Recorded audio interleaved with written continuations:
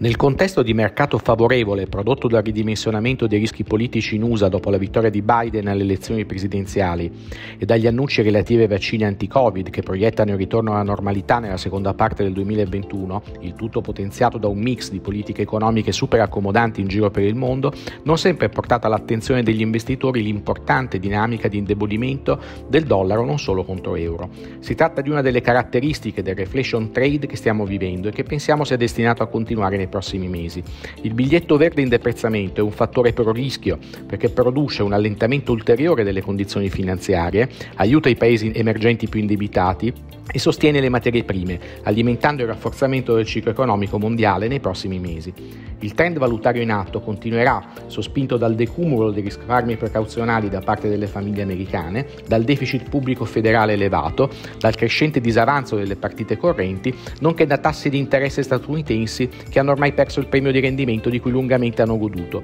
a causa delle eccezionali misure monetarie adottate dalla Fed. Il rafforzamento della moneta comune costringerà poi la BCE a inseguire la Fed nell'accomodamento per proteggere la ripresa nel continente.